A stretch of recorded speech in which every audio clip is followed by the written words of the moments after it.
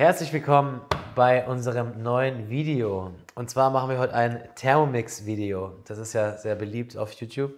Und da zeige ich euch mal mein Lieblings-Selbst-Thermomix-Rezept. Ähm, dafür brauchen wir eigentlich nur drei Sachen, beziehungsweise ist nicht ganz reiner Thermomix. Wir brauchen 500 Gramm Suppengrün, wo ihr so kaufen könnt im Supermarkt. Da ist auch immer so ein kleiner Brühwürfel noch drin. Warum auch immer. Ich benutze den nicht. Ihr dürft den gerne benutzen, wenn ihr wollt. Und dann ist darauf zu achten, wenn ihr so ein Suppengrün kauft, kauft eins, wo viel weißes Lauch dran ist. Weil es gibt auch manchmal welche, wo dann hier der ganze grüne Teil dran ist. Und der grüne Teil, der ist ein ähm, bisschen bitterer. Am besten einfach den raussuchen, wo viel weißer Teil dran ist. Ähm, dann ist da drin noch ein Sellerie, so ein Viertel, ein bisschen Petersilie und drei, vier Karotten. Ähm, in unserem Fall sind es drei Karotten oder zwei Karotten zu viel. Wir brauchen nur zwei, weil sonst wird die ganze Geschichte ein bisschen zu süß. Die Karotten heben wir einfach auf. Da brauchen wir für was anderes oder zum Snacken halt so. Dann haben wir 600 Gramm Hähnchenflügel. Die werden wir für die Suppe brauchen und danach zeige ich euch, was ihr dann danach mit den Hähnchenflügeln machen könnt, dass ihr erst die Suppe esst und danach habt ihr noch schön Hähnchenflügel, wo man noch ein bisschen abnagen kann vor dem Fernsehen. Wir starten ganz einfach mit 50 äh, Milliliter Öl. Das hauen wir in den Topf, den wir auch dann für die Suppe brauchen später. Und da packen wir unsere Hähnchenflügel einfach drauf. Ganz easy und stellen das Ding einfach auf den Herd. Die Hähnchenflügel einfach ein bisschen in der Pfanne verteilen, so dass die alle am Boden liegen. In meinem Fall sind es jetzt 1, 2, 3, 4, 5, 6, 7 Stück. Passen genau in die Pfanne, bedecken den kompletten Boden. Die langsam anbraten lassen und in der Zwischenzeit gehen wir her und verarbeiten unser Gemüse. Weil ich keinen Bock habe, das alles zu schneiden, schmeiße ich das einfach alles hier rein. Den Lauch breche ich kurz in der Mitte zusammen. Auch da rein. Dann kommt der Deckel drauf. Wir schalten den Thermomix einmal auf volle Pulle. Und dann haben wir schon unser klein geschnittenes Gemüse. Das packen wir jetzt auf die Seite, lassen die Hähnchenflügel ein bisschen anbrutzeln Und wenn die ein bisschen angebrutzelt sind, das Fett ein bisschen rausgekommen ist, dann nehmen wir die Hähnchenflügel raus, schütten das Gemüse rein und braten das Gemüse auch ein bisschen an. Danach füllen wir es auf mit Wasser und dann lassen wir die Brühe stehen. Das ist kein richtiges Thermomix-Rezept eigentlich. Ein richtiges Thermomix-Rezept wäre eigentlich einfach nur faul gewesen. richtiges Thermomix-Rezept wäre gewesen, wenn ich das jetzt hier drin gelassen hätte, dann auf 100 Grad im Thermomix angeröstet hätte, das Öl, das vom Anbraten dazugeben würde und dann die Chicken Wings da rein, mit Wasser auffüllen auf 1 Liter, 80 Grad, eine Stunde und dann hast du ein Thermomix-Rezept. So ist einfach nur Faulheit gewesen. Aber ich muss, nicht, ich muss meine Finger dreckig machen, das ist doch ganz gut eigentlich. Ich habe weder das Hähnchen angelangt, noch lange ich das hier an. Es brät jetzt hier an, vor sich hin. Ich hole schon mal eine kleine Schüssel.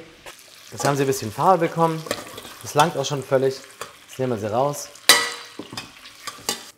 Man sieht auch schon, hier hat sich ein leichter Bodensatz gebildet von der Hähnchenhaut. Und das Öl, das schäumt auch ein bisschen, sprich, es ist auch schon ein bisschen Fett von dem Hähnchenflügeln rausgekommen. Darauf tun wir jetzt unser Gemüse. Das wird jetzt schön angeschwitzt, bis sich hier unten am Bodensatz so richtig schön, ein richtig schöner Bodensatz bildet. Dann haben wir meistens immer noch hier ein bisschen was drin im Topf. Wir brauchen ja nachher ein Liter Wasser. Da können wir dann den, Becher nehmen dafür. Einfach auf ein Liter auffüllen. Und gleichzeitig noch die restlichen Gemüsestückchen quasi vom Topfrand entfernen. So, jetzt haben wir hier unten schon einen schönen Bodensatz. Ich kratze das gerade mal frei für euch. Den löschen wir jetzt mit, einem, mit 50 Milliliter Weißwein. Einen kleinen Schluck. ab. Der wird dann gelöst, bisschen angekratzt, dass sich alles lösen tut. Dann hauen wir wieder unsere Chicken Wings dazu.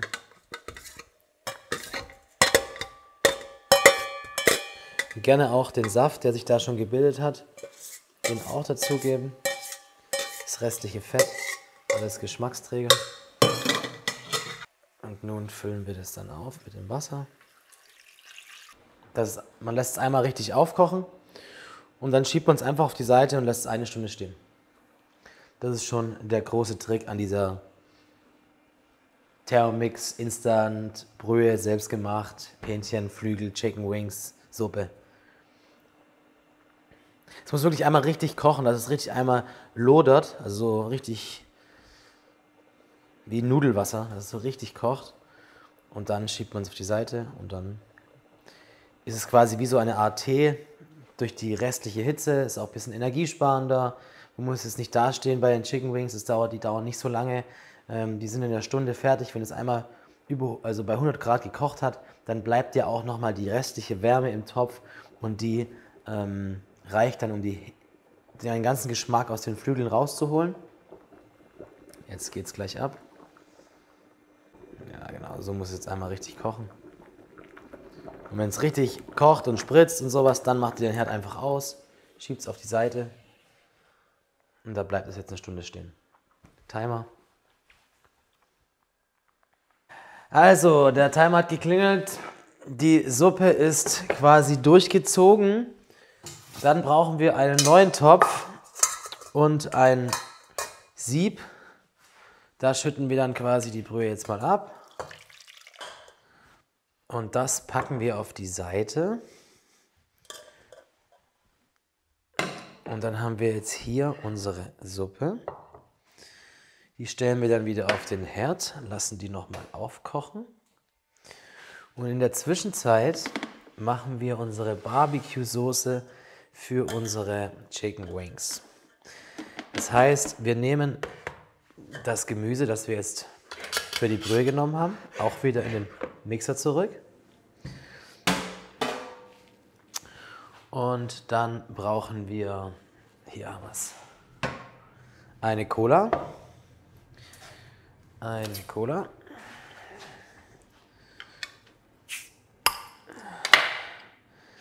Die gibt man dazu. Das heißt dann 0,33 Milliliter. Brauchen wir ein bisschen Tomatenkonzentrat. Ich habe da so ein flüssiges Tomatenkonzentrat. Tomami heißt es. Da kommt ein Esslöffel dazu. Dann machen wir zwei Esslöffel Sojasauce. Dann haben wir eine Pfeffermischung. Da könnt ihr auch einfach ganz normalen frischen Pfeffer nehmen. Auch ein Esslöffel. Wir wollen es ja gerne ein bisschen scharf haben. Ich habe hier, wenn ich Chilis benutze, dann kratze ich die Kerne aus und das Innere auch.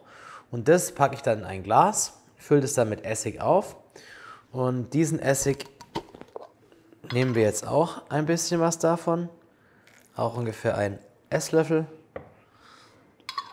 Dann haben wir was Scharfes, dann haben wir was Süßes durch die Cola, dann haben wir unser Gemüse für die Bindung, dann haben wir ein bisschen Pfeffer drin und die salzigen Part haben wir von der Sojasauce. Dann gehen wir her auf den Mixer drauf, ein bisschen Xanthan und bei Xanthan ist ein bisschen 2 Gramm. Ich habe das schon öfters gemacht, deswegen kann ich das so freestyle-mäßig aus der Hand machen.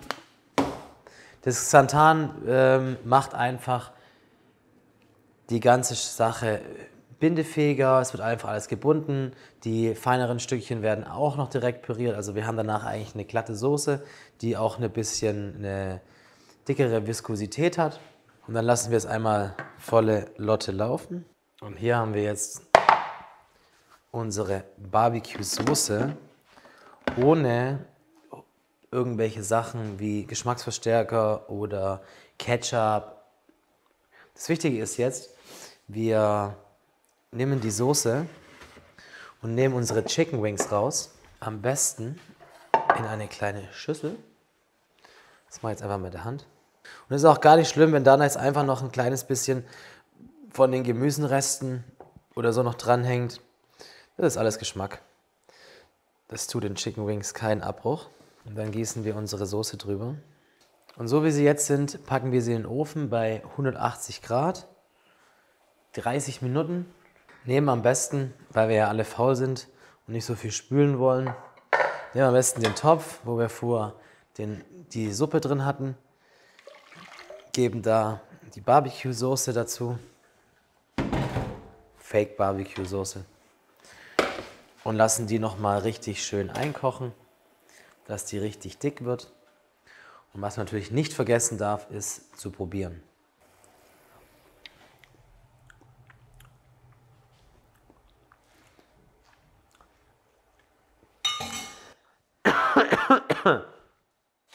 Dampf ist auf jeden Fall da.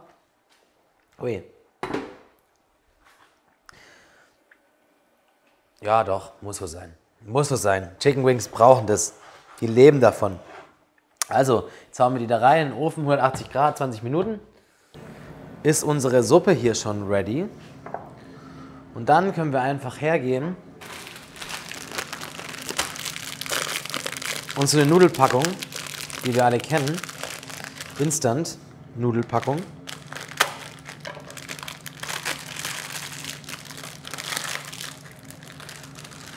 Und tun die einfach in unsere Brühe rein.